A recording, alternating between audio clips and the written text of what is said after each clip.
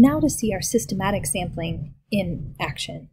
We're going to create a systematic sample of 12 quiz scores. And to create a systematic sample, first, we need a starting place. Notice it also tells us count 10 quiz scores. So our K in systematic sampling is going to be 10. Let's grab our starting place. So we're back at random.org to our true random number generator. We need a starting place. Let's start at 49. So 49 would be here. We're going to record that first quiz score. So 7 is taken. Then we count 10 quiz scores. Well, 10. 1, 2, 3, 4, 5, 6, 7, 8, 9, 10. Makes it kind of nice because then we take this row. So we count 10, we count 10. We're going to wrap back around. Count 10, count 10, count 10.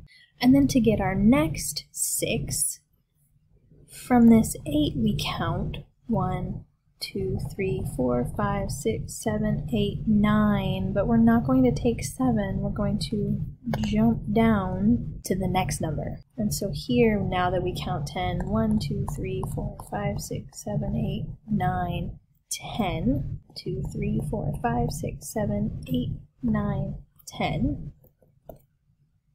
2, 3, 4, 5, 6, 7, 8, 9, 10 two more. One, two, three, four, five, six, seven, eight, nine, ten. One more. One, two, three, four, five, six, seven, eight, nine, ten. And that concludes our systematic sample. We could have chosen k to be a different number instead of 10. It could have been 12. It could have been 4. It could have been 15.